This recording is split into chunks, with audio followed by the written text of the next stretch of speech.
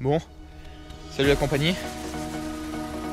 Bon, je vais vous faire une petite explication euh, sur la pêche du cassan, parce que j'ai vu lors de la vidéo coup de gueule qu'il y avait pas mal de monde qui me demandait ce que c'était euh, la pêche au cassan.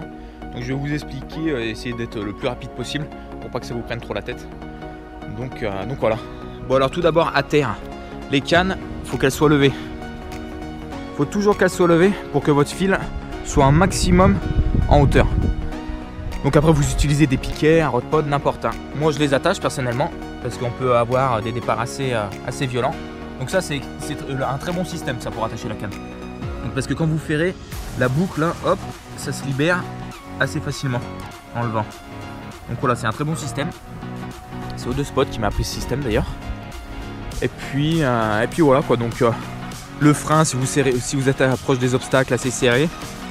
Et puis, et puis voilà, puis après, faut, faut dormir à côté des cannes quand même. hein, Parce que ça m'est déjà arrivé de voir une canne voler sur le rodpod en pêchant en cassant. Bon, je vais vous faire voir de l'autre côté là-bas, ce que ça donne.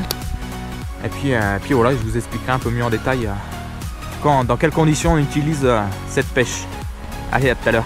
Donc voilà, je sais pas si on voit bien, ma bannière tout le long est au-dessus de l'eau. Là, comme ça, je sais pas trop aussi si on voit par rapport à la différence de couleur avec le ciel, le fil. Je verrai. Là, on va pas tarder à arriver sur le poste.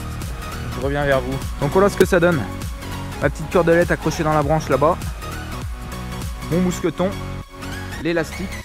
Donc voilà, vous voyez bien, hein, ma ligne est au-dessus de l'eau jusqu'à ma canne là-bas. Et là, vous voyez, hein, le fil est pas, est pas ultra tendu. hein. C'est voilà, faut, faut j'aime pas quand il est tendu moi perso, c'est plus discret.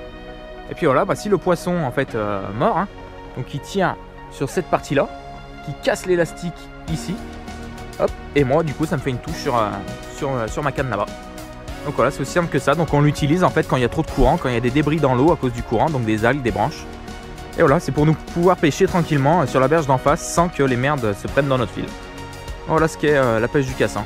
Après, si d'autres personnes ont des précisions, hein, moi je sais que je l'utilise que dans ce cas-là. Après, il y a peut-être d'autres euh, d'autres utilisations que je ne connais pas encore. Voilà, voilà. Bon bah allez, à plus tard.